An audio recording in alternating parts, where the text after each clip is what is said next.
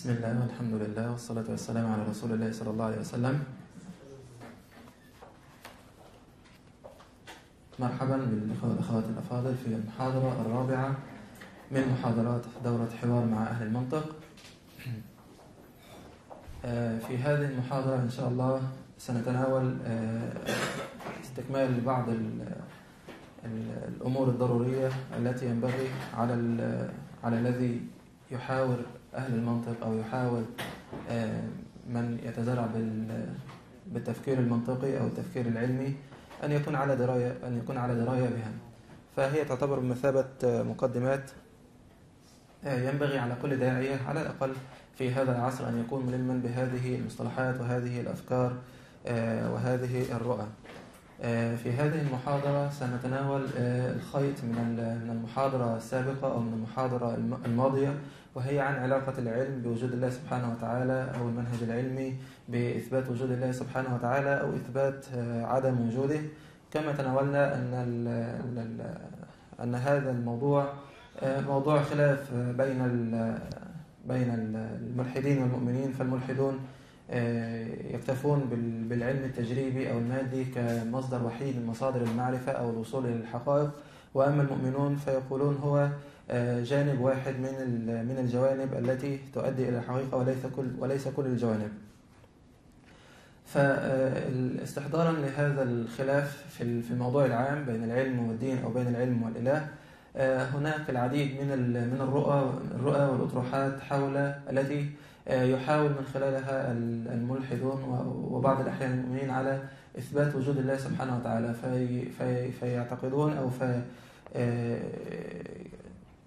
يصنعون جانب أو أو أو عدة أفكار من الأفكار من ال من ال من الأفكار المتعلقة بالعلم أو أو المنهج التجريبي ثم يحاولون الاستدلال من خلالها على مسألة نفي وجود الله سبحانه وتعالى أو من جانب المؤمنين إثبات وجود الله سبحانه وتعالى.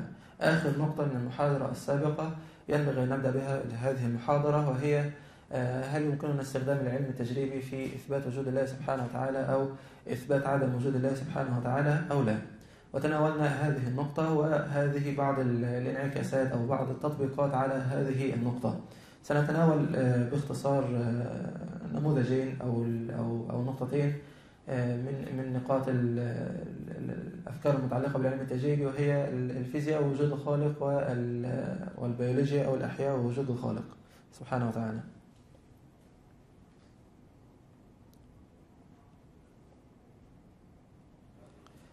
في البداية سنمر مرورا سريعا على مسألة موضوع الفيزياء ووجود الخالق وكيف يستخدمه الملحدون في إثبات عدم وجود الله سبحانه وتعالى الفيزياء المختلفة أو الأفكار الفيزيائية أو النظريات الفيزيائية المختلفة.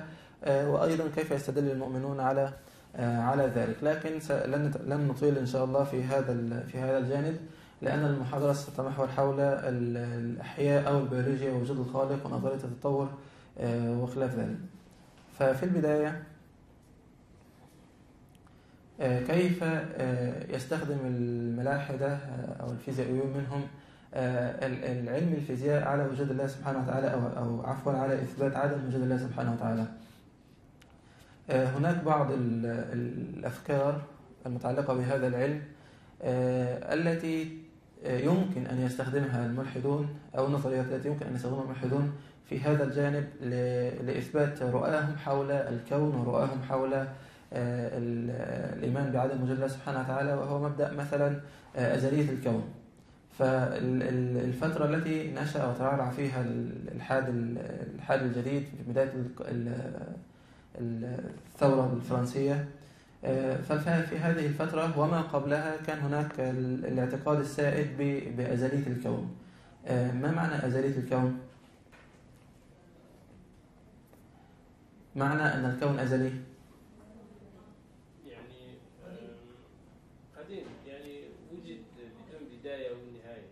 قديم. طيب هو قدم العالم أو, أو, أو أزلية العالم هي مسألة فلسفية قديمة لكنها لها تطبيق في في في فيما يتعلق بالفيزياء وهو أزلية الكون من الناحية الفيزيائية. في كتابه الفيزياء ووجود الخالق يجيب الدكتور جعفر إدريس يقول هل في الفيزياء ما يدل على أزلية الكون؟ لأن إذا الكون أزلي معناه أنه لا وجود للخالق. هو الكون أزلي لا وجود له أو لا بداية له كما تفضل الأخ علوي.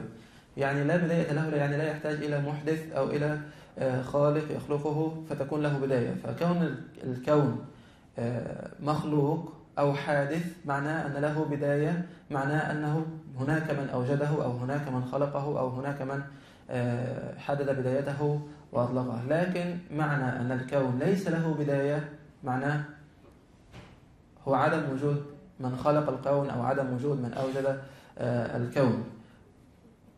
فيقول نعني بالأزلي ما ليس لوجوده مبتدأ. بعد ذلك يا جماعة الموبايلات صامت. نعني بالأزلي ما ليس لوجوده مبتدأ وليس له بالتالي منتهى. فإذا صح أن شيئا ما أزلي فلا يمكن أن يكون مخلوقا لأن المخلوق يتقدمه خالقه فهو بالضرورة حادث. أي أن لوجوده مبتدأ ومن الذي ابتدأه هو الخالق سبحانه وتعالى. طبعا هناك بعض التصورات حول حول الكون أو أزلية الكون قديما وحديثا. فيبدأ يقول هناك تصورات قديمة وهناك تصورات متعلقة بالفيزياء الكلاسيكية وهناك تصورات متعلقة بالفيزياء بالفيزياء الحديثة. هل في هذه التصورات كلها الفيزياء القديمة أو أو المبادئ القديمة أو المفاهيم القديمة أو الفيزياء الكلاسيكية أو فيزياء نيوتن أو الفيزياء الحديثة هل فيها ما يثبت أزلية الكون وهل فيها ما يثبت أن أن أن الكون ليس له خالق؟ فيقول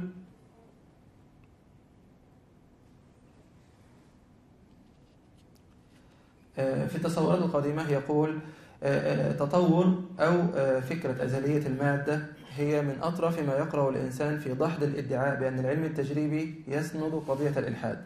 إذ الواقع عكس ذلك.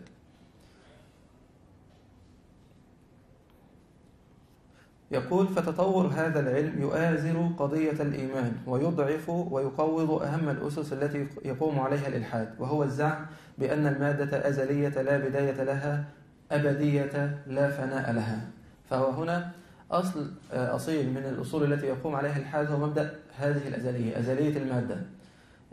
طبعا يحتاجون أن يصيغونها بصيغ قوانين فيزيائية حديثة مثل المادة لا تفنى ولا تستحدث من العدم ولكن يمكن تحويلها من صورة أخرى غيرها من القوانين التي درسناها.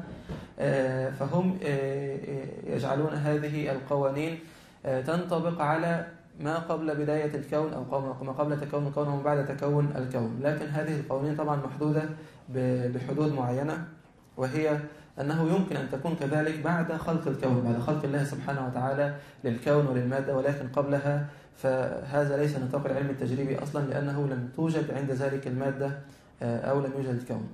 يقول لقد ظل الماديون طوال القرون في أمر في اختلاف بالنسبة لأزلية المادة. ظنوها بادئ الأمر هذه النجوم والكواكب الضخمة التي يشاهدونها والتي يخيل لمخلوق ضعيف معدود الأيام كالإنسان أنها أزلية لأنها فيما يظن بقيت على حالها التي عرفها آباؤه وأجداده وكل البشر قبله. فما المانع إذا من أن تكون من أن تكون على هذه الحال منذ الأزل؟ وما المانع من أن تظل هكذا إلى الأبد وإذا كانت أزلية فإنها لا تحتاج إلى خالق. وهذا معناه الفلاسفة الذين قالوا بقدم الأجرام السماوية أو قدم العالم. وإذا كان هؤلاء قد قالوا بأزليتها يعني أنها قديمة فإن آخرين من من التصورات القديمة هذه مثل البابليين أو ال أو ال أو قوم قوم إبراهيم عليه السلام فإن هؤلاء عبدوها. يعني بعض الفلاسفة يقولون هي أزلية والبعض الآخر عبدها. طبعا هناك أيضا ما يواجه هذه التصورات القديمة هناك بعض الفلاسفة أو المتدينين حتى القدماء ما ردوا على هذا التصور الضعيف أو التصور الخاطئ للكون أو لأزلية الكون أو لأزلية الأجرام السماوية. مثلا من ذلك الإمام الغزالي عندما ألف تهافت الفلاسفة رد على هذه رد على هذه النقطة وقال ما تمسك به جالينوس إذ قال لو كانت الشمس مثلا تقبل الانعدام لظهر فيها ذبول في مدة مديدة والأرصاد الدالة على مقدارها منذ ألاف السنين لا تدل على هذا المقدار يعني لا تدل على هذا الذبول فلما لم تذبل هذه الأماد الطويلة دل على أنها لا تفسد. هذا اعتراض هذا مبدأ جالينوس يقول أن الشمس منذ الأجل وهي ثابتة لا تتغير لا تذبل وبما أنها لا تذبل إذن هي أزلية أو أبدية أو لا أو لا تنقص بحال من الأحوال أو لن تنتهي أو لن تموت أو غير ذلك من من الأفكار. يقول الغزالي الرد عليه من وجوه. وذكر وجهين. الوجه الأول أن شكل هذا الدليل أن يقال إن كانت الشمس تفسد فلا بد أن يلحقها ذبول. وهذا قياس غير صحيح. ولا ولا نسلم له لأن الشيء قد يفسد بعد الذبول وقد يفسد مرة واحدة. يعني ليس كل الأشياء تفسد بعد الذبول أو تفسد فسادا تدريجيا وإنما قد يفسد مرة واحدة شيء. مثل يعني مثال ذلك الإنسان. الإنسان قد قد يبلغ من الكبر عتيا ويبدأ في الذبول شيئا فشيئا وقد يموت في عنفوان صحته وشبابه بدون أي سبب حتى وبدون أي حوادث حتى. فهو هنا معناه الغزالي بأن المقدمة التي بنى عليها جالينوس دليله وهو أن كل الأشياء تذبل ثم تموت ليست مقدمة صحيحة أصلا فقد يكون الموت أو أو الضعف بعد الذبول وقد يكون مرة مرة واحدة. الثاني الوجه الثاني الذي اعترض به الإمام الغزالي على على مقولة جالينوس هذه أنه حتى لو لم يكن هناك فساد إلا بعد الذبول يعني لو سلمنا جدلا هذه المقدمة. يقول فمن أين عرف أنه لا يعتريها الذبول؟ يعني من أين عرف جالينوس أن المد أن الشمس لا تذبل شيئا فشيئا؟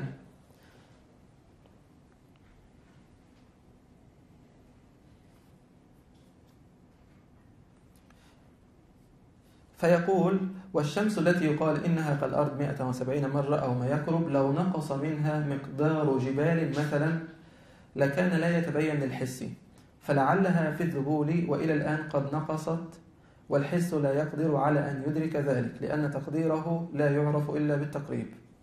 طيب فهو هنا الإمام الغزالي رحمه الله يقول إنه من أدرى جالينوس أن الشمس لا تذبل؟ فالشمس بحجم أو أو بالمقارنة بحجم الأرض كبيرة جدا. فمن أدرى أنه لا تنقص بمقدار الجبال وهو لا يدري أنها أنها تنقص.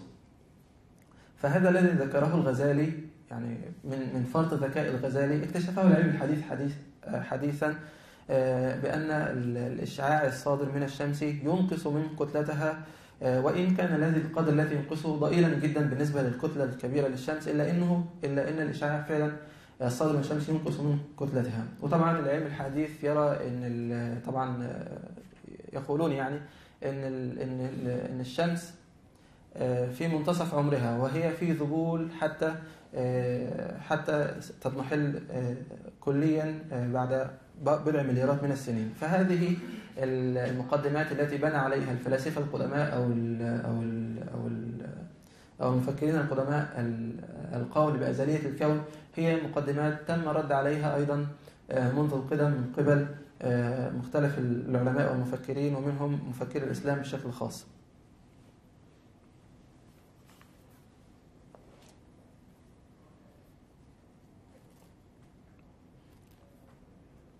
طيب النقطة الثانية هي الفيزياء الكلاسيكية والمقصود بالفيزياء الكلاسيكية هي التي كانت الفيزياء يسمونها فيزياء نيوتن وأن في ال في ال في الأفكار نيوتن أو في فيزياء نيوتن أيضا استمرار لمبدأ ثبات الكون أو مبدأ أزلية أزلية أزلية المادة. يقول إنه جاء نيوتن فأعطى هذا القول الفلسفي صبغة علمية لكن تصوره للذرات أو للكون كان كتصور المسلمين أو بعض المسلمين من حيث اعتقاده بأن الله سبحانه وتعالى هو الذي خلقها وقدر كل ما يتعلق بها.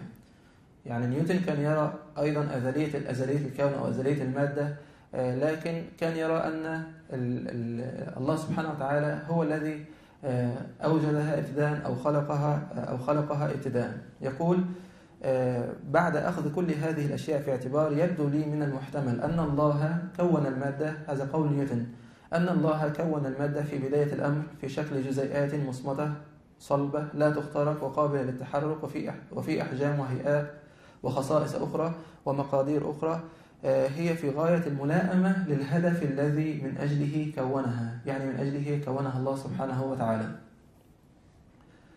فليس في فيزياء نيوتن ما يثبت أن الذرات التي تتكون منها المادة أزلية ولكن هو بنى فكرته على أن الله سبحانه وتعالى هو خلق هذه الذرات بهذه بهذه الصفات.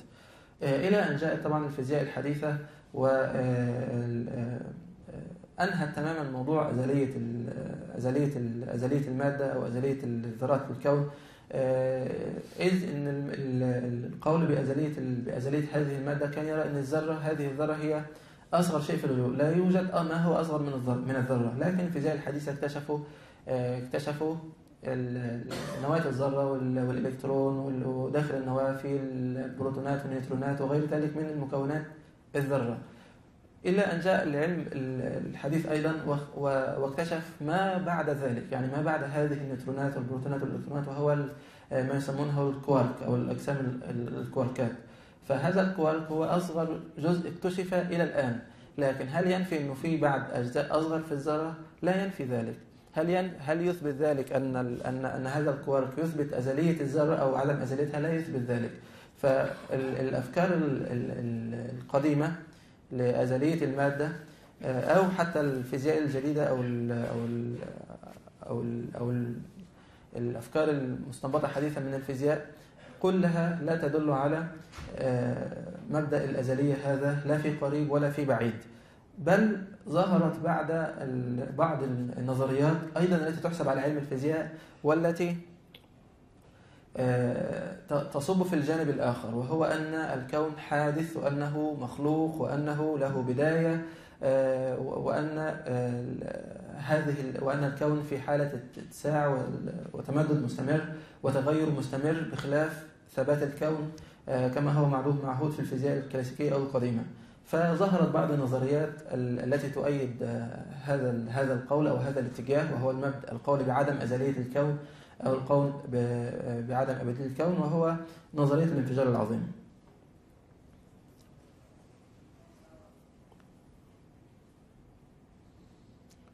طبعا ملخص نظرية الانفجار العظيم بأن الكون عند بداية معينة كانت هناك ما يسمونها ال singularity أو أو نقطة معينة أو يسمونها في العربية المفردة ترجمة ال singularity فيقولون إن هذه المفردة كانت هناك مفردة وانفجرت ويسمون هذا الانفجار الانفجار العظيم. ومن هذا الانفجار نشأت أبعاد الكون المختلفة مثل الزمان والمكان والطاقة والمادة وما إلى ذلك. فهذه باختصار إنه إنه الكون كان نقطة واحدة ثم ثم انفجر. ومن من من هذا الانفجار وحتى يومنا هذا وحتى انهيار الكون هذا الكون في اتساع مستمر وتمدد مستمر. طيب هذه النظرية ال ال ال الأمور التي تعضد هذه النظرية من الفيزياء هو أن العلماء فعلا اكتشفوا أن المجرات تتباعد عن بعضها البعض وأن الأجرام السماوية تتباعد عن بعضها البعض ولذلك يقولون أن هذه النظرية من النظريات القوية جدا في في في علم الفيزياء. طيب هل هي حقيقة علمية؟ الجواب لا. هي ليست حقيقة. علمية وإنما هي مجرد نظرية ولكنها نظرية قوية تؤيدها أدلة قوية. طيب بالمناسبة يعني بالمرة هل يجوز الاستدلال من القرآن الكريم على نظرية الانفجار العظيم؟ حتى وإن كانت نظرية قوية وتؤيد الدين أو تؤيد المنظور الديني أنه الكون خلق من من من عدم أو ما إلى ذلك؟ والجواب لا. وطبعا الجواب لا. لمبدأ عندنا في سنتناوله أيضا في جانب التطور.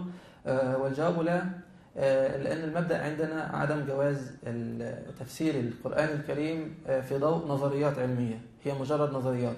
لكن إذا انتقلت النظرية إلى حيز الحقيقة فيجوز عندها أن, أن نرى توافق الآيات القرآنية مع الحقائق الكونية المختلفة لأن الله سبحانه وتعالى هو من خلق الكون وأوجد فيه هذه الحقائق وهو من أنزل القرآن. فلا يوجد تعارض بين الحقائق المادية الموجودة في الكون وبين آيات القرآن. لكن هل يجوز الاستدلال بهذه النظرية على على على التفسير القرآني يعني مثلا آية أولم يرى الذين كفروا أن السماوات والأرض كانتا رتقا ففتقناهما وجعلنا من الماء كل شيء حي.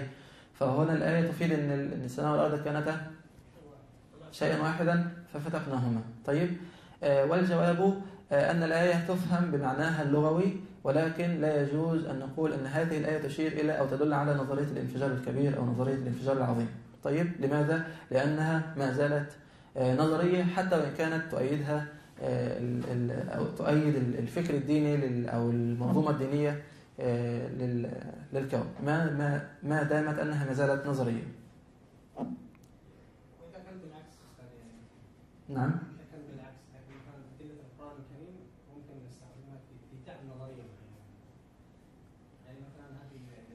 أدلة القرآن تستخدم في دعم نظرية معينة لا يصح لأننا ذكرنا في المحاضرة السابقة أن العلم التجريبي له منهج معين يعتمد عليه في سبيل الوصول إلى الحقائق.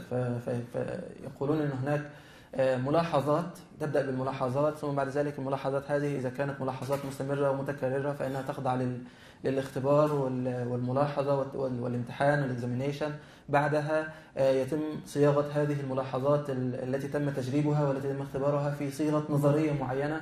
ثم بعد ذلك إذا تم اختبار هذه النظرية بصورة كثيرة ومتكررة وكل نتائج واحدة فقد ترتفع النظرية إلى إلى إلى إلى, الحقيقة العلمية. طيب فهنا هذا هو المنهج العلمي التجريبي الذي يقوم على الإثبات المادي أو أو أو المجرد للكون. لا يدخل أبدا الوحي ضمن أدلة العلم التجريبي. هو قد يكون هناك توافق وقد يكون هناك إنه إنه الوحي يعضد أو أو يؤكد لكن من ناحية الاستدلال العلمي لا يصح الاستدلال بآيات من القرآن على نظريات علمية أو أو ملاحظات علمية ونقول إن إن, هذا دليل أو هذا ما يثبت كذا أو أو يثبت كذا لأنه معناه إنه بيثبت معنى إن الآية بتثبت بتثبت هذه النظرية معناه إنها دليل. أو إنها تعتبر دليل. وهذا ليس صحيحا. النظرية هذه شيخ بيج بين هل من الانفجار يمكن التعمير والتخريب تخريب؟ يعني على حسب اعتقادي على حسب التجربة يعني من التفجير صار يعني تعمير العالم؟ نعم. يعنون هنا بالانفجار شيخ عبد الحكيم إنه ليس انفجار بالمعنى انفجار قنبلة. لا. لا يعنون بال بال بالانفجار اللي هو زي انفجار قنبلة أو انفجار اللي بيحدث على على الأرض. لا هم يعنون بالانفجار إن هذه السنجولاريتي أو المفردة اللي كان فيها المادة والمكان والزمان وكل شيء كان فيها كل شيء انفجرت. طيب؟ نعم. فهذه القوة بدأت تأخذ الاتجاهات المختلفة وأصبح هناك وجود مادي للكون. طبعا هذه ما زالت نظرية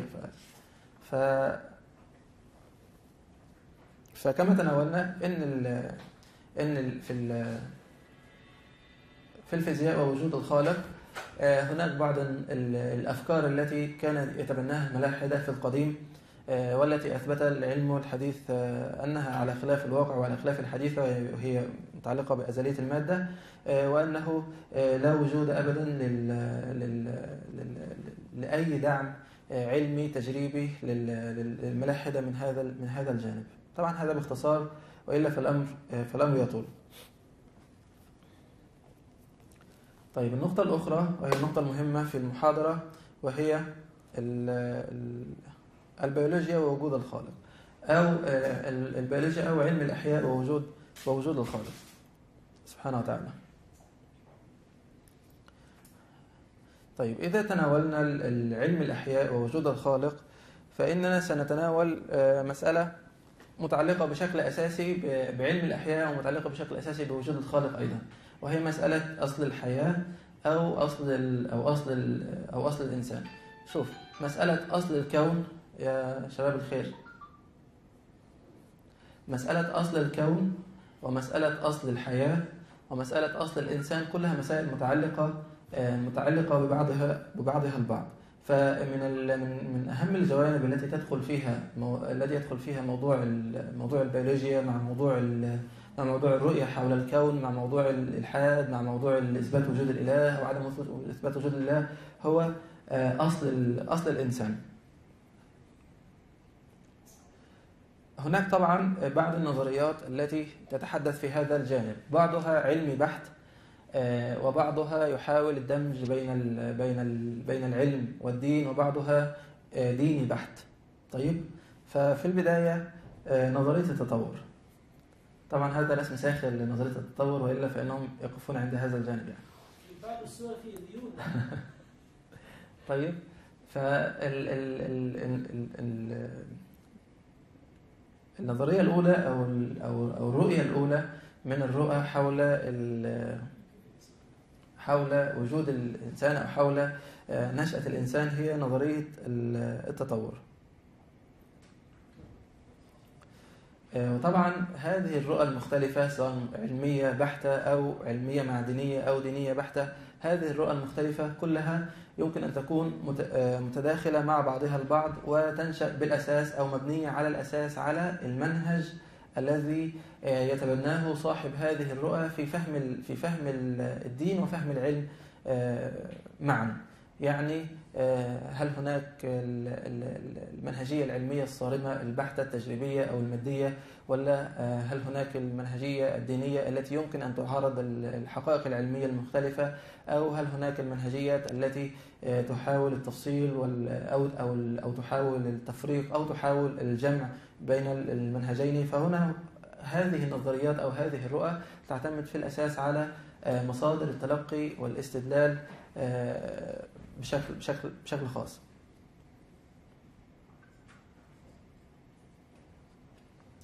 آه، لكن في النهاية نستطيع القول بأنه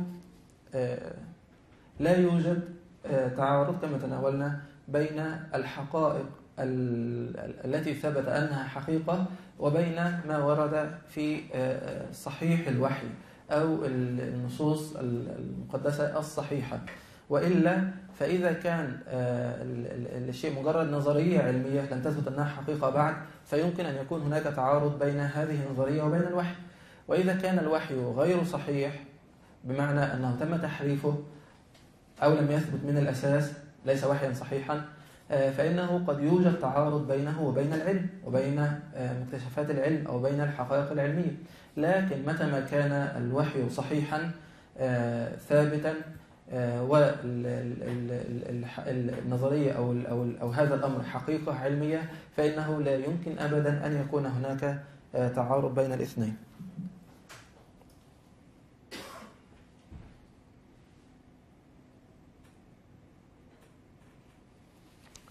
طيب عندما نعني بال- بالتطور أو بنظرية التطور آه، فإننا لا نعني مطلق التطور. مصطلح التطور آه، مصطلح واسع جدا كبير جدا يشتمل على آه، مجموعة واسعة جدا ومختلفة حتى آه، من ال- ال- الرؤى والأفكار. فعندما نطلق ونقول نظرية التطور أو مصطلح التطور فإننا لا نعني كافة المعاني التي يدل عليها التطور آه، ولكن نعني معنى واحدا وهو آه، نظرية التطور الدرويني أو نظرية التطور ال- ال- التي تفيد بأن جميع الكائنات الحية آه، لها سلف واحد مشترك أو لها أصل واحد مشترك ومنه تفرع جميع الكائنات الحية بما فيها الإنسان إلى التنوع آه، الذي نراه الآن. طيب فهو هنا عندما نطلق آه، نقول التطور فإننا نعلي هذا المعنى الخاص آه، للتطور وهو آه، آه، التطور الدرويني أو التطور ال- البيولوجي.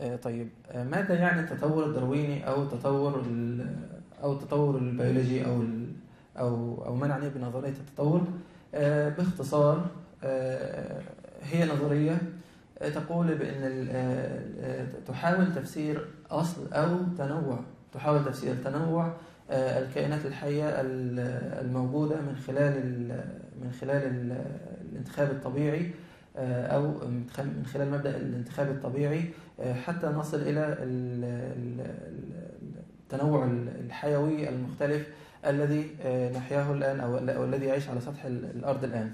فهو هنا يقولون إنه إنه الحياة بدأت من آه، صورة بسيطة خلية بسيطة ومن خلال هذه الخلية آه، تنوعت ال- الكائنات الحية آه، إلى ما نراه وانتهاء بال- بالإنسان.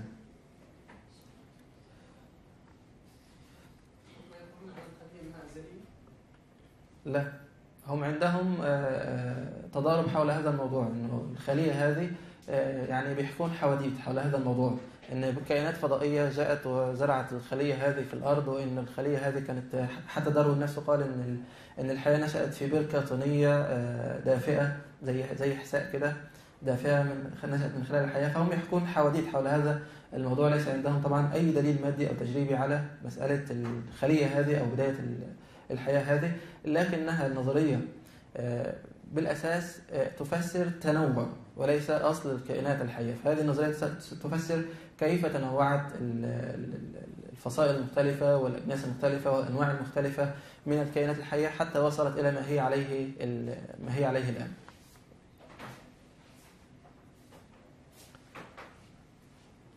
طيب فنظرية التطور باختصار هي مبدأ أو منهج تجريبي أو مادي صارم آه، آه، يعني يقوم على الاستخراج ال- الإعجاز أو استخراج آه، كما يقولون يعني آه، استخراج يد الإله من مبدأ من من تنوع الكائنات الحية الموجودة.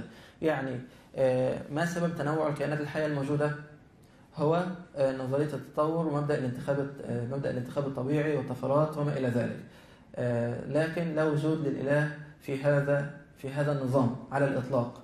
حتى المؤمنين بال- بالتطور بعضهم آه، يقول أن الإله لم يتدخل على الإطلاق بأي شيء معجز من بداية خلق الحياة في الخلية الأولى.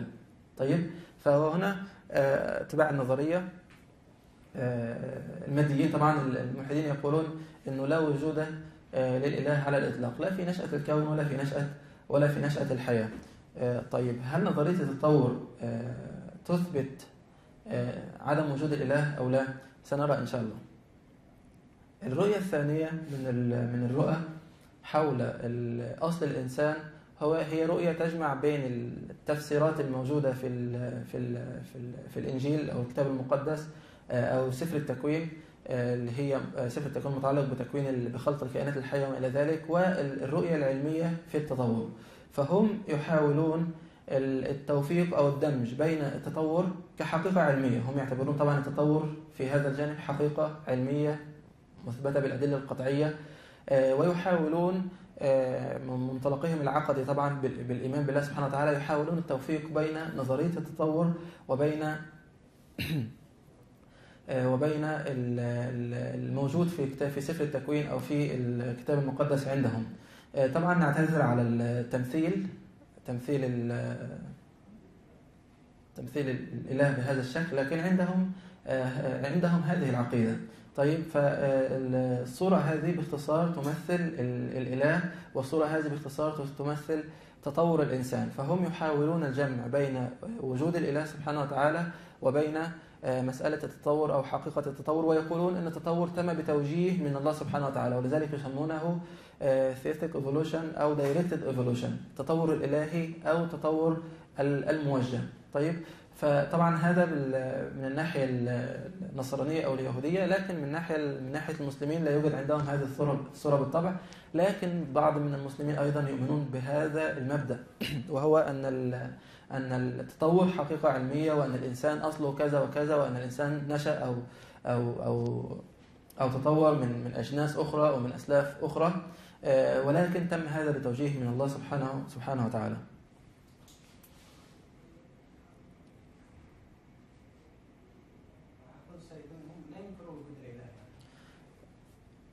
في هذه النقطة أو في هذه الرؤية ينكرون وجود الإله. يقولون أن التطور آه، هو بديل الإله طيب هؤلاء لا ينكرون وجود الإله. يقولون بوجود الإله لكن يقولون أيضا بحقيقة التطور. يحاولون الجمع بين التطور وبين وجود الإله. مثل كثير من العلماء النصارى الموجودين حاليا فرانسيس كولينز أو أو كينيث ميلر أو غيرهم من من علماء النصارى الموجودين حاليا يقولون بنفس ال بنفس ال بنفس الرؤية إنه الإله موجود وإنه آه، سن القوانين ثم آه، تركها تعمل يعني. ومن هذه القوانين قانون التطور. حتى بعض العلماء منهم حتى فرانسيس كولينز نفسه بيؤمن حتى بالصدفة والعشوائية في ال- والانتخاب الطبيعي في التطور. يعني التطور يقوم على آليات آليات معينة مثل الانتخاب الطبيعي مثل العشوائية مثل ال- آه، الطفرات وجود الطفرات المختلفة كما سنتناول إن شاء الله. لكن آه، وكل هذه الأمور آه، تعارض بالأساس ال- ال- المعتقدات الدينية المختلفة في في في ال- في الخلق أو في أو في الحياة لكن حتى من ضمن العلماء اللي بيؤمنون بوجود التطور التطور الموجه يؤمنون بالآليات اللي بيقوم عليها التطور الإلحادي أو التطور المادي من الصدفة والانتخاب الطبيعي كما سنرى إن شاء الله. فهنا هذا الصنف من من الناس أو هذه الأفكار يسمونهم أنصار التطور الموجه أو أنصار التطور الإلهي الذين يحاولون التوفيق بين ال- النظرية المادية البحتة في التطور وبين آه، معتقدهم في وجود الإله سبحانه وتعالى الشيخ إبراهيم هل النظريه موجوده في سفر التكوين؟ ولا هم- آه، ما في شيء اسمه نظرية موجودة في سفر التكوين. سفر التكوين هذا آه، أول سفر من الكتاب المقدس العهد القديم يذكر فيه كيف بدأ الله سبحانه وتعالى الخلق. نعم في ستة أيام وكما سن- سنتناول هنا في هذه في هذه النقطة وهي نقطة الكرييشنزم أو الخلقوية. طيب الخلقوية تختلف عن آه، التطور الموجه والتطور الموجه يختلف عن الخلقوية. كلهم يؤمنون بوجود الإله لكن أنصار التطور الموجه يقولون آه، إن إن الحياة وجدت آه، أو أو تنوع الأحياء وجد عبر التطور لكن ما يسمونها الخلقوية أو ال creationism يقولون آه، إن إن الكائنات وجدت دفعة دفعة واحدة وأن الله سبحانه وتعالى عندما خلق خلق السماوات والأرض في ستة أيام معناها ستة أيام يعني كل يوم 24 ساعة كما هو الأيام الموجودة. الموجودة في الوقت الحالي. فهذا آه، الخلقوية هذه آه، يمكن حتى آه، لم- لمن يريد المزيد من الاطلاع يمكن تقسيمهم إلى إلى ال- إلى ال young earth creationists وال old earth earth creationist اللي هم الخلقويين اللي بيؤمنون بال بال- بالأرض ال- الشابة يعني أو الأرض الجديدة. وبعضهم يقول لا هي الأرض قديمة. والله سبحانه وتعالى لم يخلق الخلق في ستة أيام يعني 24 ساعة في ستة أيام لكن خلقها على أزمنة طويلة فباختصار يعني أن أصحاب ال creationism أو أصحاب وجهة النظر الخلقوية هذه آه، يؤمنون فقط بما ورد في ال- الجينيسيس أو سفر التكوين آه، ويفسرونه تفسيرا آه، حرفيا بمعنى أن خلق السماوات والأرض كان في ستة أيام وأن آه، ترتيب خلق الكائنات كان كان كما ورد في في سفر التكوين وما إلى ذلك. أيضا يؤمنون بما ورد في في سفر التكوين كما سنرى إن شاء الله آه، من ال- التفاصيل القصة قصة آه، آدم عليه السلام آه، كما وردت يؤمنون بكل ما ورد آه، بكل ما ورد فيها. لكن آه، هم يقولون بأن هذا المنظور اللي هو خلق السماوات والأرض في ستة أيام أو أو الخلق المفاجئ أو أو ما إلى ذلك آه، هذا المنظور ثابت علميا. يعني هم يحاولون الاستدلال بال- بالعلم أو بمعطيات العلم التجريبي على مثل هذه الأمور وطبعا آه، في بعض الأحيان بيصيرون آه، اضحوكه يعني من من تهافت ال- الأدلة على ذلك. آه، أيضا من المهم ان أن نعرف ال- القصة أو أو أو أو مبدأ اصل الكائنات الحية أو أصل الإنسان بشكل بشكل عام في ال- الكتاب المقدس أو في سفر التكوين.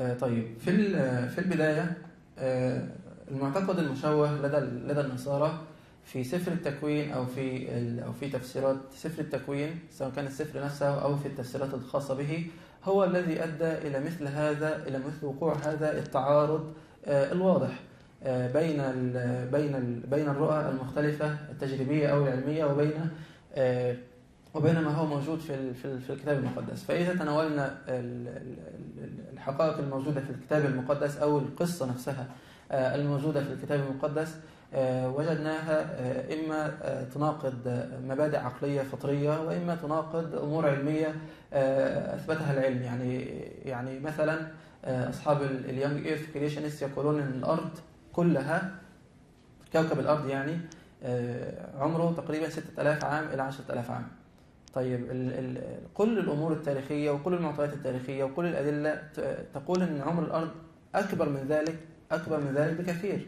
طيب آه ثانيا يقولون إن ال إن ال إن, ال إن القصة آه كما وردت آه هي حقيقة. بمعنى إن إن ال الأمور ال- الغير عقلانية الموجودة في القصة موجودة حقيقة. مما يدفع آه ال- الملحد فعلا أو الملحدين فعلا إلى إلى ال- إلى إلى, عدائيه الجانب العدائي أو أو الموقف العدائي مما ورد في الوحي أو ما ورد في الدين بشكل عام. فالملحدون لا يعرفون من الدين أو من الوحي إلا آه، طبعا في ال- في الغرب آه، لا يعرفون إلا الكتاب المقدس. طيب إذا تناولنا الكتاب المقدس القصة الموجودة في في أصل القصر من الكتاب المقدس نجد أنها تشتمل على آه، كثير من الأمور ال- ال- المشوهة أو المحرفة آه، التي دخلها التحريف آه، بعد بعد عيسى عليه السلام. فيقولون مثلا إن إن إن, إن حواء هي التي أغوت آدم من إن الشيطان هو الذي اغرى حواء ثم حواء هي التي اغرت آدم. آه، في ال- في الأكل من الشجرة وإن ال- وإن الشيطان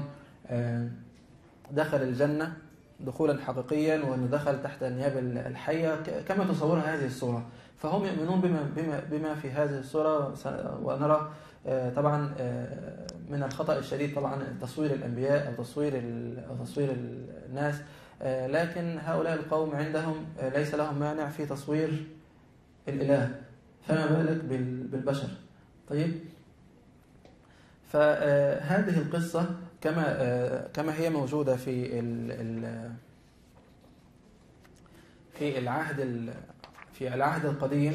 قصة قصة محرفة باطلة باطلة مليئة بالتناقضات ومليئة بالأمور التي تخالف الحقائق العلم الموجودة أو الحقائق المنطقية أو الأمور المنطقية الموجودة. ومنها أن يؤمنون أيضا بأن الموت ما كان في الأرض إلا بعد الخطيئة. يعني إن إن الموت هذا هو آه، لل- لوجود لوجود الخطيئة يعني. لكن الواضح وال- وال- وال- والسائد والأمور ال- وال- والحقائق الموجودة العلمية وال- والمادية وال- آه، وحتى التاريخية تقول إن الموت كان موجود قبل وجود البشر أو قبل وجود موت الكائنات الحية كان موجود وإن الموت بصورته الموجودة كان موجود. فهنا طبعا ال- ال- القصة نفسها تقول إن الموت آه، كان نتيجة لقصة الأكل من الشجرة أو لخطيئة الأكل من الشجرة. ويؤمنون أيضا بالخطيئة الأصلية وأنه كل الكائنات أو كل البشر آه، يولدون عليهم ذنب من من خطيئة آدم أبيهم آدم عليه السلام. إلى غير ذلك من الأمور التي تخالف الفطرة آه، وتخالف ال- الحقائق العلمية والمنطقية الموجودة.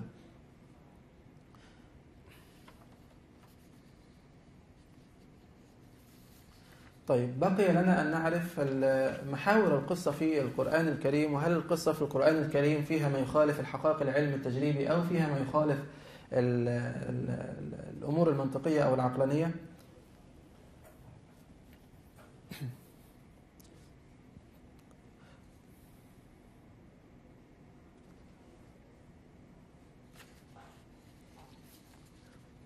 طبعا هناك الكثير من من الكتابات حول هذا الموضوع. بعضها كتابات كتابات بعض بعض الباحثين ال- الذين يرون أن أن قصة آدم عليه السلام في القرآن متوافقة مع مع مع المنظور التطوري للكائنات الحية. وبعض طبعا الكثير من من الناس وعلماء الإسلام قديما وحديثا آه، آه، يثبتون في القصة في القرآن آه، وما ورد في السنة آه، وكل هذه ال- الإثباتات أو كل هذه المفاهيم حول القصة في القرآن والسنة لا تعارض أبدا ال- ال- الحقائق العلمية القطعية الموجودة آه، سواء من ناحية عم- عمر الأرض أو عمر البشر أو تعارض الحقائق ال- ال- ال- ال- أو تعارض ال- الأمور المنطقية آه، التي وردت في في سفر التكوين. فهي باختصار آه، تجمع بين ال- ال- السلامة من ال- التحريفات التي يحاول أن أن أن أن يضفي أن يضفيها الملاحدة على أصل الإنسان آه، والسلامة من التحريفات التي أضفاها اليهود والنصارى حول نفس القصة. طبعا إذا عندنا طبعا القصة في القرآن مذكورة في كذا في كذا موضع وفي السنة أيضا مذكورة في كذا موضع لكن باختصار نحيل إن شاء الله بإذن الله لهذه المواضع لهذه المواضع فيما بعد. لكن ما نريد أن نقوله أن القصة في القرآن الكريم تختلف عن النموذج التطوري البحت المادي البحت وتختلف عن نموذج التطور الموجه سواء كان سواء كان من ناحية النصارى أو ناحية بعض المسلمين المتأثرين به. وتختلف عن النموذج الخلقوية الموجود بتفسير الحرفي في في الكتاب المقدس أو في سفر التكوين وتخ أو أو في حركة الخلقوية الموجودة وتختلف في من ناحية القصة نفسها أو أحداث القصة نفسها في في في سفر التكوين وفي الكتاب المقدس.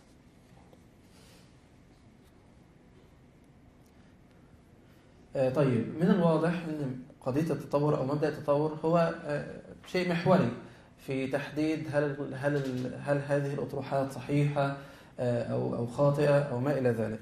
طيب لذلك سنتناول إن شاء الله موضوع طبعا كانت هناك صورة هنا لكن سنتناول باختصار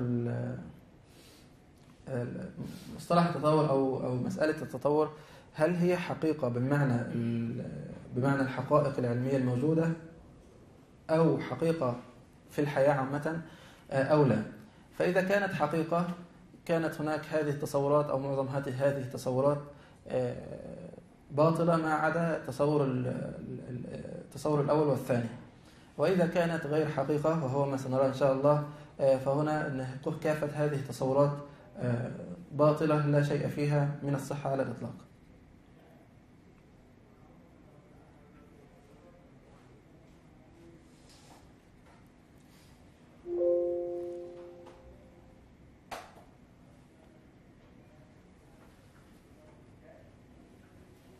بعدين الشيخ بس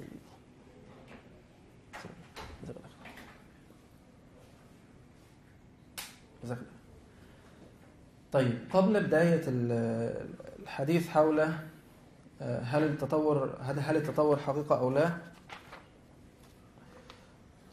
سنمر مرورا سريعا على بعض بعض النتائج أو بعض الآثار. المترتبة على مجرد الإيمان بفكرة التطور المبنية على الصدفة المبنية على الانتخاب الطبيعي المبنية على عدم الوضوح أو عدم الغاية أو الهدف وما إلى ذلك. طيب ففي البداية الآثار المترتبة على الإيمان بالتطور بنظرية التطور بشكل عام لا تشمل فقط علم البيولوجيا أو لا تشمل فقط علم الأحياء. ولكن كما كما يعني رأينا في التاريخ الحديث إن بمجرد ظهور نظرية التطور التطور على يد داروين وهذه النظرية دخلت في السياسة والاجتماع والبيولوجيا وحتى الفيزياء وغيرها من من الأمور. وحاول الملحدون مجرد السطو على هذه النظرية وتوظيفها في الرؤى الإلحادية المختلفة سواء كانت سواء كانت من هذه الرؤى إلحادية شيوعية أو إلحادية علمية أو إلحادية أو إلحادية ماركسية أو حتى إلحادية فلسفية. كل هذه الرؤى الإلحادية حاولت توظيف ما يتم فهمه أو ما يتم استخلاصه من من نظرية التطور في سبيل الترويج لهذه الرؤى المختلفة.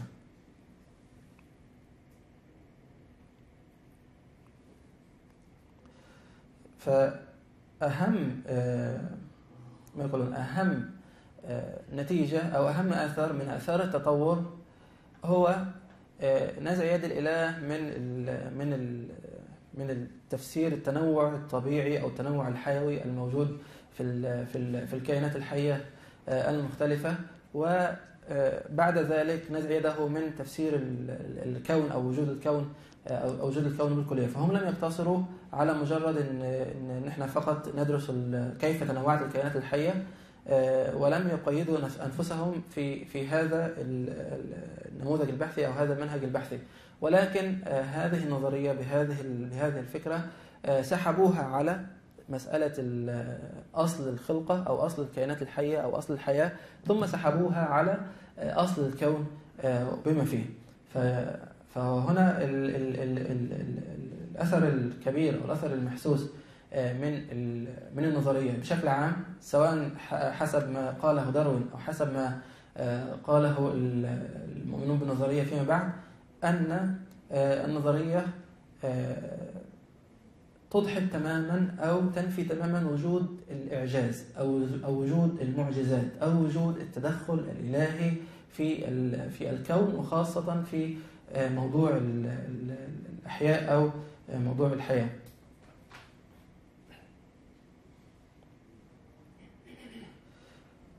طيب فهو هنا النظرية حاولت آه، رفع مصطلح الخالق أو مصطلح ال- ال- ال- ال- الإله أو مصطلح ال- ال- ال- العليم الخبير الحكيم كل هذه المصطلحات التي يمكن أن توظف بصورة أو بأخرى في مسألة وجود الحياة أصلا شالوها أو آه، رفعوها ووضعوا بدلا منها مصطلحات أخرى مثل الانتخاب الطبيعي مثل الصدفة مثل الطفرات مثل مثل العشوائية آه، وما إلى ذلك من هذه المصطلحات. فهم مجرد آه، وكلوا تنوع الكائنات الحية ليس إلى فعل الله سبحانه وتعالى وخلق الله سبحانه وتعالى ولكن إلى إلى هذه ال- ال- المبادئ أو هذه الأفكار المتضاربة طبعا.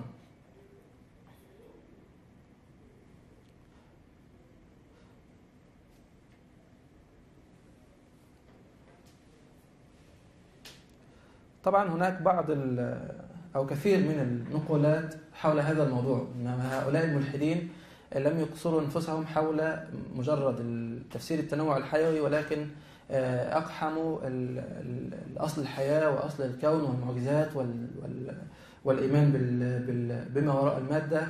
آه، وما إلى ذلك أقحموا هذا في آه، في تفسيرهم لنظرية التطور وفي تفسيرهم لرؤاهم حول حول الكون. فمثلا آه، مما يقولونه أن ال- الانتخاب الطبيعي آه، انتخاب أعمى. يعني يرجعون الأصل التنوع إلى الانتخاب الطبيعي. ويقولون هو آه، انتخاب أعمى ليس له هدف وليس له وليس له غاية محددة.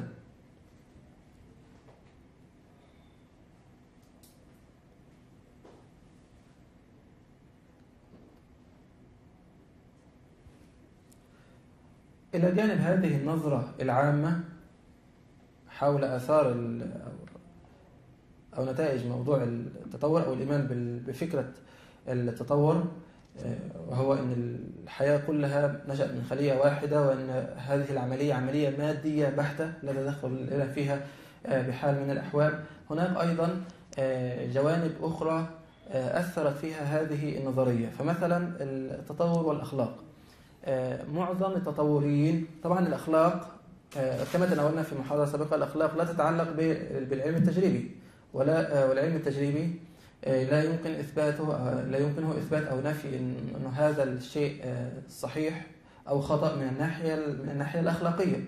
طيب فهنا معظم معظم التطوريين أو من يؤيدون بنظرية ال- من يؤيدون نظرية التطور آه، إما يرجعون الأخلاق إلى آه، أمور مادية وهو طبعا آه، غير صحيح على الإطلاق آه، وإما يقولون أن الأخلاق هذه من من آه، من نتاج التطور نتاج التطور البشري. يعني يقولون أن البشر هم من اخترعوا آه، مسألة ال- الأخلاق ومسألة ومسألة الضمير آه، وما إلى ذلك.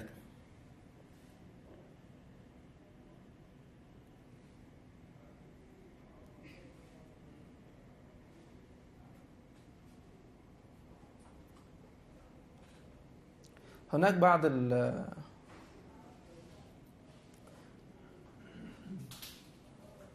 بعض النقولات الهامة جدا في هذا الموضوع والتي يستخدمها ال- ال- الملاحدة للت- للترويج لهذا للترويج لهذا آه، الموضوع. آه، لكن طبعا آه، آه، يلخص هذا كله موضوع التطور والأخلاق. آه، يلخص هذا كله مقولة جان بول سارتر الشهيرة أنه كل شيء مباح في ظل عدم وجود الإله. يعني آه، في ظل عدم وجود الإله لا, لا ليس هناك داعي, داعي لموضوع الأخلاق وأنه في حدود معينة آه، لا ما تقدر عليه سويه يعني ال- ال- ال- ال- البقاء لل- للأقوى كما يقولون. فلخصت لخصت هذه المقولة ال- العلاقة بين ال- ال- المنظور التطوري المادي للكون وما بين مسألة وجود الأخلاق من عدمها.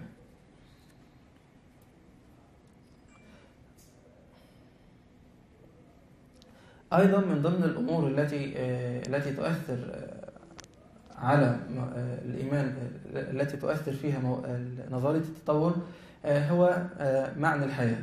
فغالب الملحدين الذين يؤمنون بنظرية التطور آه، ليس لديهم آه، معنى للحياة على الإطلاق. يعني يقولون أن الحياة بلا معنى. وليس هناك وجود أصلا لما يسمى آه، لما يسمى بال- بالمعنى. طيب ما هو الدافع وراء هذا ال- الاعتقاد؟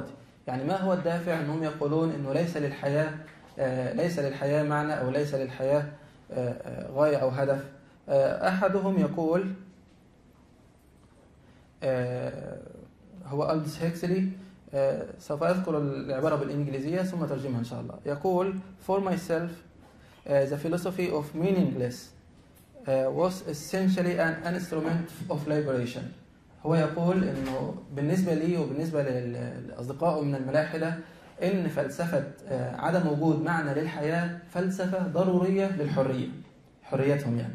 طيب فهو يقول آه، إنه بالنسبة لي فإن فلسفة أو فإن أو فإن آه، فلسفة عدم وجود معنى للحياة آه، ضروري جدا أو أداة ضرورية جدا لل- للحرية يقول the liberation we desired was simultaneously liberation from certain political and economic system and liberation from certain system of morality. فهو بيقول إن الحرية التي نريدها نحن آه، هي حرية من أي آه، تقييدات أو حدود آه، اقتصادية أو سياسية أو حتى أخلاقية. ويكمل ويقول آه، we objected to the morality because it interfered with our sexual freedom. فهو يقول نحن نحن آه، بن- بنعارض مسألة الأخلاق أو مسألة وجود الأخلاق لأنها ببساطة تتعارض مع حريتنا الجنسية. طيب هذا هو مختصرهم ومعتقدهم باختصار في آه، مسألة في مسألة معنى الحياة إنهم لا يريدون آه، إنه يكون هناك معنى للحياة لأن وجود معنى معناه إنه في آه، تقييدات معينة أو حدود معينة سياسية واجتماعية وأخلاقية وإن هم آه، مبدأهم في الحرية يعتمد بالأساس على هدم هذه آه، الأمور كلها. طيب. آه، التطور وقيمة الحياة أو قيمة حياة الإنسان. آه، في الأديان كافة الأديان حتى حتى الوثنية منها. الإنسان له قيمة مركزية في الكون بمعنى أنه الإنسان له آه، مكانة معينة أو مكانة متميزة بين آه، باقي باقي المخلوقات. هذا واضح في كافة ال- ال- ال- الرؤى الدينية المختلفة وأن الإنسان آه، مميز عن المخلوقات الأخرى بال- بالعلم وبال- وبالعقل وبالأخلاق وبال- وبالوعي وما إلى ذلك من هذه من هذه الأمور. الفلسفة التطورية تقول لا أن الإنسان ما هو إلا مجرد آه، نوع واحد من بلايين الأنواع من الكائنات الحية آه، وأن مسألة الأفضلية هذه مسألة نسبية. يعني يعني الإنسان قد يكون آه، أفضل وقد يكون بعض الحيوانات أفضل من آه، من الإنسان باعتبارات باعتبارات أخرى. فهم آه، يسوون في النهاية آه، بين الإنسان وبين كافة أنواع ال- الأجناس أو الكائنات الكائنات الحية. وهنا آه، آه، يضعون نفسهم في مغالطة منطقية آه، وهي إنه إنه نحن نعتقد إنه الإنسان متميز معناه إنه سيدخله الغرور أو سيدخله التكبر أو سيدخله كذا أو سيدخله أو سيدخله كذا. لكن مقصدنا نحن بتميز الإنسان هو ما نراه في الواقع في طبيعة الحال. الإنسان في الواقع في العالم الحالي متميز أو لا. من الذي يشيد الحضارات من الذي يستخدم كل شيء في الكون من الذي يستطيع ترويض الكائنات كلها أو أو الاستفادة من الكائنات هو ما لا يوجد إلا الإنسان. طيب فهو هنا المنطلق هذا منطلق آه، واقعي. آه، بحث من مسألة أفضلية الإنسان أو تميز الإنسان آه، وأنه دونا عن بقية الكائنات الحية عنده الوعي وعنده الإرادة الحرة بعكس الكائنات الأخرى.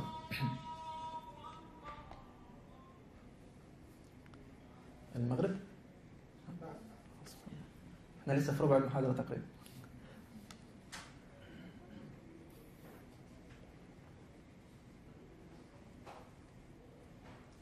طيب آه بعد ذلك أيضا يؤثر المفهوم هذا هذا المفهوم على الغاية آه، من الخلق أو الغاية من الحياة. فكونك أنك تعتقد أنك نتاج عملية عشوائية آه، ليس لها غاية وليس لها هدف معناه أنه أنت نفسك ليس لك غاية وليس لك هدف. آه، أحد الفلاسفة المعاصرين يقول إن إحنا مجرد ماكينات آه، بيولوجية. يعني مجرد آلات آلات بيولوجية. بس آه، وظيفتها إنها تعيد إنتاج نفسها عن طريق التكاثر أو عن طريق ال ال الانتخاب أو عن طريق كذا. فهو هنا نظرته للحياة أو نظرته للإنسان أو أو للغاية من حياة الإنسان نظرة آه، واحدة. فقط يقول لا تختلف عن الغاية من وجود كل الكائنات الموجودة. وهي إعادة التكاثر. إنه بس آه، ينقلون جيناتهم للأجيال الأجيال اللاحقة. هذه آه، منظورهم أو هذا منظورهم لمسألة الغاية من من الحياة أو الغاية من أصل من أصل الإنسان وهذا كلامهم هم. طيب العلاقة بين الدين والتطور. طبعا نستطيع استخلاص بعض آه، بعض الجوانب العلاقة. بين بين الدين والتطور. طبعا ونعيد ونكرر أن التطور هنا معناه آه، نظرية التطور الدارويني أو نظرية التطور البيولوجي التي تقول بأن كل الكائنات الحية نشأت من خلية واحدة والصدفة والانتخاب الطبيعي والطفرات آه، لعبوا دورهم حتى يظهر الإنسان بملكاته الحالية وبقدراته الحالية. لكن هناك أنواع أخرى من التطور كما سنرى اللي هو ال micro evolution أو التطور الصغروي آه، وهو ما يسمونها التكيف فهذا التكيف حقيقة واقعة موجودة لكنهم دائما ما ينسبون التطور الكبير هذا إلى إلى أدلة التطور الصغير.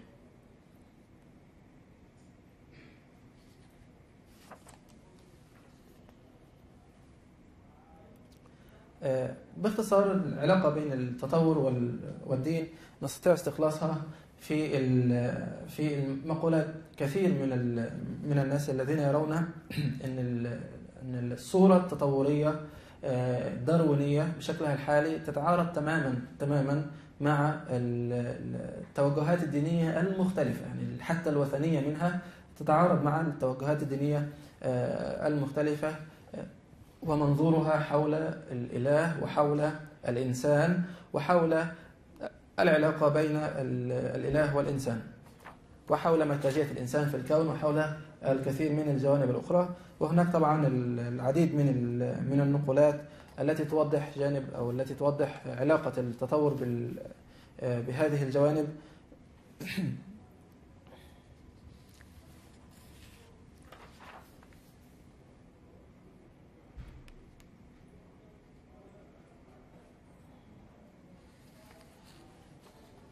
لكن ما نستطيع أن نقوله باختصار أنه التطور في هذه في هذه بهذه الصورة آه، هو آه، كما يسمونهم يقولون هو أفضل صديق للإلحاد. Evolution is is the best friend. معناه أنه أفضل صديق أو أفضل شيء يمكن أن يعضد آه، مذهب الإلحاد هو هذه النظرية بهذه الآلية المادية البحتة التي تنفي وجود الإله والتي تنفي وجود المعنى للحياة والتي تنفي وجود القيمة للحياة والتي تنفي وجود الغاية للحياة آه، وما إلى ذلك. حتى أن بعض الملاحدة آه، يقول أن نظرية التطور جعلته آه، intellectually satisfied. يعني معناه تطور عن اقتناع إنه ملحد عن اقتناع إنه إنه ملحد. فهذه طبعا باختصار موضوع موضوع الجوانب التطورية أو ال- أو الآثار التطورية ال- المختلفة؟ آه، طيب. بعد كل هذه الجوانب التي يمكن أن أن نلاحظ أن فيها تعارض مع الواقع ال- ال- الذي نحياه وبين المعطيات المختلفة هل هي من الناحية العلمية؟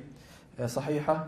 آه، طبعا هناك العديد والعديد من ال من ال آه، من ال من ال النقد العلمي لكافة جوانب نظرية التطور أو كاف- أو كافة جوانب أدلة التطور. فنذكر منها على سبيل المثال مسألة, الانتواع يعني هم يقولون إن ال- إنه ال- إن الكائنات آه، إن كل نوع بيتطور عن النوع من النوع الذي قبله. آه، يعني الإنسان مثلا آه، كان في نوع قبله اسمه ال- ال- البشر البدائي أو ال أو ال الهومونايتس أو أو كده. ويسمونه النوع قبله. والنوع وال- وهذا ال- البشر البدائي هناك نوع قبله. هذا النوع كان مشترك مع ال- جد القرود فال فال common ancestor أو السلف المشترك بين الموجود بين البشر مثلا آه، وبين وبين القرود. إنه من البشر مثلا ظهرت أنواع وتطورت أنواع حتى وصل إلى شكلنا الحالي والقرود أصلا أيضا آه، ظهرت وتطورت إلى شكلها إلى شكلها الحالي. وقبل هذا الجد المشترك كانت هناك أجداد مشتركة حتى نصل إلى ال- الاسماك حتى حتى نصل إلى الخلية الأولى. فطبعا من من الأخطاء الشائعة نقول إنه نظرية التطور تقول إن الإنسان أصله بشر يعني الإنسان أصله قرد لا هو مش أصله قرد هو أصله سمكة أو خلية أولى. يعني ف بعد هذا التطور الإنسان وين يصل؟ إلى يصل إلى إلى إلى آلات. في بعض ال في بعض ال- الناس يعني تقول إن الإنسان فيما بعد إن شاء الله سيتحول إلى آلة بحكم ال- التطور الموجود حاليا يعني. طيب فالنماذج مخت... نماذج بسيطة وسريعة على موضوع ال- النقد العلمي لنظريه التطور. هناك العديد من الكتب. مثلا هذا الكتاب Icons of Evolution هذا. وغيره من ال- من الكتب. يعني هذا كتاب آه، ذكر مثلا ال Icons of Evolution أو الأدلة التي يعتمد عليها التطور 10 أدلة وكتب ال- ال- النقد كل دليل بوجهة النظر العلمية آه، التجريبية ال- ال- البحتة. وهناك أيضا ال- العديد من من من الكتب الأخرى مثل مثلا آه، Darwin's Black Box أو الصندوق داروين الأسود أو التطور النظرية في أزمة أو تطور نظريا ما تزال في أزمة كتاب آخر فهكذا فهناك العديد من الكتب التي تتناولت الموضوع من الناحية العلمية ال- البحتة. آه، وتمحورت هذه هذا النقد حول مسألة الانتواع إن حتى الآن حتى وقتنا هذا حتى بين التطورين نفسهم لا يوجد مفهوم واضح لمسألة النوع. فأصلا الأصل الذي يقوم عليه التطور هو الانتقال من نوع إلى آخر. لا يوجد حتى الآن مفهوم واضح لكلمة آه، لكلمة النوع. ينبغي هناك التفريق أيضا بين ال micro evolution أو ال macro evolution أو التطور الصغراوي أو التطور الكبراوي. تطور ال micro evolution اللي هو التكيف لأنه مثلا آه، لون الجلد ممكن يختلف. ال- ال- ال- المنقار مثلا ممكن يطول شوية. كل هذه الأمور تعتبر تكيف مع البيئة المحيطة وهو واقع مشاهد. لكن إنه السمكة تكون آه، تطلع تبقى تطلع تبقى زواحف والزواحف تبقى آه، طيور والطيور تبقى ثدييات والثدييات تبقى إنسان كل هذه طبعا أمور ليس عليها أي أدلة على الإطلاق. طيب آه، أيضا الانفجار الكامبري أو الانفجار ال- ال- ال- يسمونه الانفجار الكامبري هو نعم طيب آه، باختصار أيضا سجل الحفريات المختلفة وال- والتشابهات ال- المورفولوجية لا تدل ابدا على مسألة التطور الكبروي هذه آه، ومبدأ الانتخاب الطبيعي بشكل بشكل أساسي. هناك أيضا آه، نقد آخر من نوع آخر وهو نقد نقد الفكرة التطورية نفسها من الناحية المنطقية، يعني آه، معضلة ال- الخلية الأولى. ممن أتت الخليه الأولى كما يقولون يحكون حواديت في هذا الموضوع، لا يكون كلام علمي ولا يكون كلام علمي بل يكون آه، حواديت يسخر منها الإنسان السوي أو البسيط حول من الذي أتى بالخلية الأولى ووضعها أو زرعها في الأرض حتى تنتج الحياة يعني. طيب ال fine tuning وال أو ال أو ال أو الضبط الدقيق للكون في مقابل العشوائية. الواقع المشاهد يقول إن كل الكون بكل بكل ابعاده المختلفه هناك ضبط دقيق هناك ضبط محكم هناك آليات معينة هناك آه، آه، آه، قوانين معينة هناك كذا هناك كذا. لا تصير أبدا أي عملية في الكون بصورة عشوائية. فما بالك بأعقد العمليات وهي ظهور الحياة وظهور الكائنات الكائنات الحية الأكثر تعقيدا؟ فلا بد طبعا أنه يكون هناك آه، مقارنة عقلية بين بين المفهوم ال- ال- ال- الضبط الدقيق أو مفهوم ال- الإحكام الموجود في الكون وما بين الصدفة أو العشوائية كما يحاول أن يروجها الملاحدة. أخيرا الفلسفة الإلحادية أو الفلسفة التطورية وهي باختصار فلسفة إلحادية آه، فهم باختصار كما يقولون أنهم لا لا يسمحون بوجود الإله في التفسير. يعني تفسير الحياة لا يسمحون أبدا بوجود ال theology أو بوجود أو بوجود ال supernatural power أو بوجود القوى الخارجية عن الكون. لا يسمحون أبدا. كل ما آه، هنالك أنهم يحاولون الرجوع إلى أمور مادية بحتة في تفسير هذه الأمور مما أوقعهم في هذه ال- ال- المزالق وأخيرا آه، ينتج من من هذا الموضوع ال- التطور هذا نتج عنه آه، بعض الفلسفات التي أدت إلى آه، نتائج كارثية في الحياة أو على الحياة. من ضمنها ظهور الفلسفة فلسفة الداروينية الاجتماعية التي تبناها هتلر والتي قتل من خلالها آه، ملايين الناس. أيضا ستالين الذي قتل ملايين الناس كان متأثر بنظرية التطور وغيرهم من الناس. ملك النرويج مثلا قتل حوالي 20 ألف زنجي أفريقي في وسط أفريقيا لأنه لأنهم يعتقدون أنه أن الزنوج آه، ما زا- ما زالوا في قيد التطور لم يتطوروا بعد إلى ال- إلى إلى أنهم يكونوا بشر.